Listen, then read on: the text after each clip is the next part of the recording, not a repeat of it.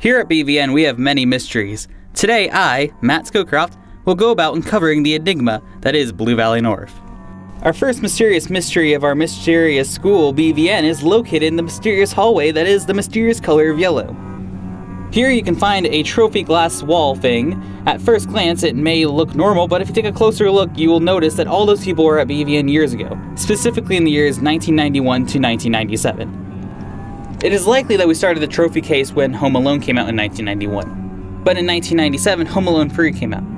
It is likely that the school administrators were so upset how Home Alone 3 turned out that they shut down our school trophy case. Let's move on to this mysterious mystery. Almost every classroom has a silver device on the wall.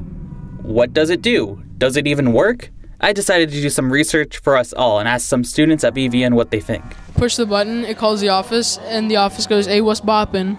And then, then you gotta tell them what's bopping. Like if there's a naughty boy, you gotta send the naughty boy out. Um, I think it's some kind of like button or something. Yeah, I'm not really sure. It looks like an elevator button to me. Okay, so it appears to be uh, some sort of button, maybe to call an intercom device. Maybe, uh, who knows? It could be a nuclear detonation switch. Um, it could do it could do a lot of things actually. Um, I don't know. It's a button. After doing some research, my best guess as to what it does is its purpose is likely to call students to be sent to the principal's office so that they can be expelled. Today is a new day, BVN. We now know the answers to the questions we have all had for our entire lives. You can move on with your life knowing the answers to those questions. Good job, Mustangs, we did it.